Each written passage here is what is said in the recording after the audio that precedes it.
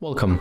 If you want to transfer data from Android smartphone to your Samsung Galaxy M51, for the first you have to get application to transfer data.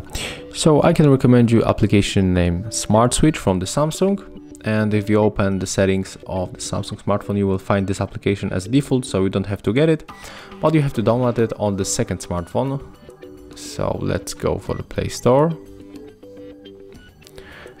and type here Smart Switch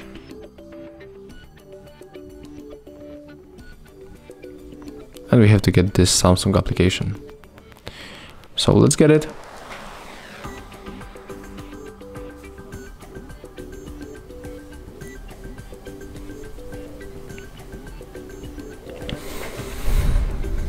Right now we can open, click agree, accept all of the permissions.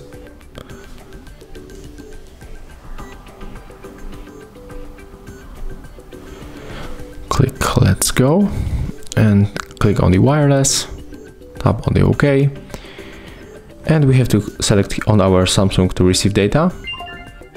And right now they are looking for each other, so we have to be patient. Click on the connect.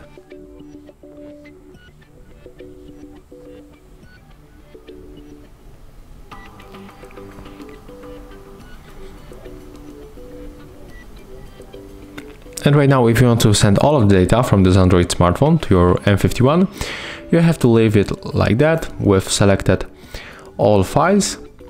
And then you, can simply just click transfer.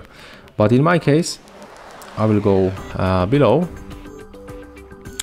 because uh, I only want to send some data, some, you know, the special data. So I will go for the music and it's only example. So I'm going to unselect all this stuff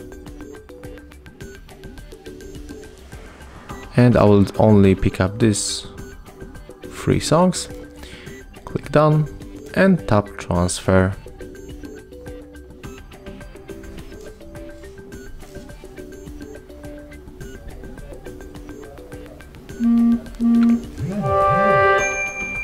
And as you can see it is finished. So right now we can check in the downloads if the transfer was successful. So let's go for the file manager and I think that we can find these files in the audio.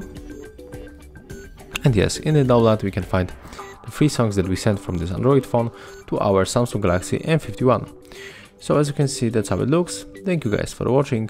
Leave thumbs ups comments and subscribe to our channel. See ya